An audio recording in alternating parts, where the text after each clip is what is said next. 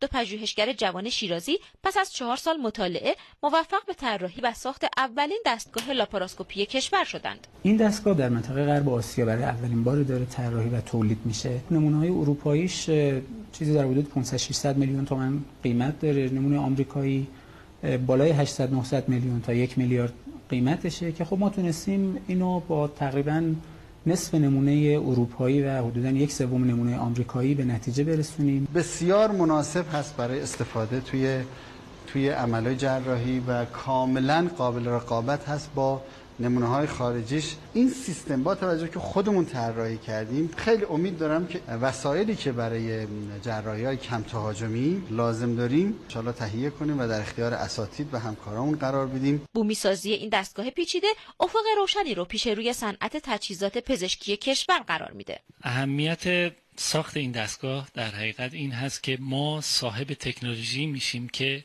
تعداد خیلی معدودی از کشورهای جهان صاحب این تکنولوژی هستند.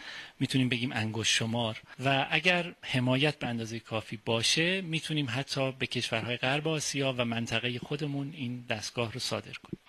دستگاه لاپاراسکوپی از سه بخش اصلی دوربین، منبع نور سرد و insufflator تشکیل شده. دوربین لاپاراسکوپی که برای دیدن محفظه شکم منبع نور سرد برای روشن کردن محفظه شکم و insufflator که اصلی ترین بخش این سته برای باد کردن محفظه شکمه دستگاه insufflator شاید سخت ترین کار ما بود که ما روی همین تونستیم شرکتمون دانش بنیان کنیم و خب طراحی خیلی سختی داشت ایمنی خیلی بالایی داره کپسول خیلی پرفشاری پشت این وصل میشه که اگر این اپریشن دستگاه درست نباشه این فشار می‌تونه منتقل بشه به شکم و آسیب جدی به مریض بزنه. دستگاه لاپاراسکوپی تولید شده در شیراز مراحل مختلف تست های استاندارد و بالینی رو با موفقیت پشت سر گذاشته. در صورتی که این دستگاه به مرحله تولید انبوه برسه علاوه بر تأمین نیاز داخلی زمینه صادرات و ارزآوری برای کشور هم فراهم خواهد شد.